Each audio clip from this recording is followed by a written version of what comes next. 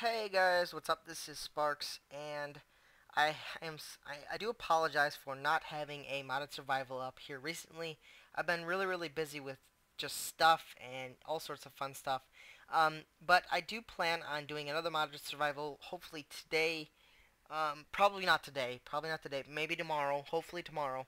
Um, but before I actually did do it, uh, eh, excuse me, did do another modded survival, I wanted to make a quick build challenge.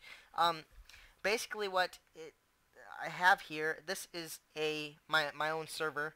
Um, just basically my my server that's run off my computer. So it's not it's not a all the time up server. It's only for when I need to you know build with friends and stuff like that. Um, but I am inviting anybody that wants to build me a ship um, I already have one. Tom Games has built a ship, and it looks pretty awesome. It looks a lot better than my ship.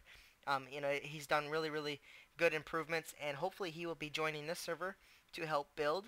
Um, so I'm really looking forward to um, anybody that wants to um, come on this server. Um, if you guys want to, just make sure you guys message me either on Skype. So if you guys want to add me on Skype, my name is osparkso. I'll just type that in real quick. O I mean, it's very simple. You know, you guys have watched my channel.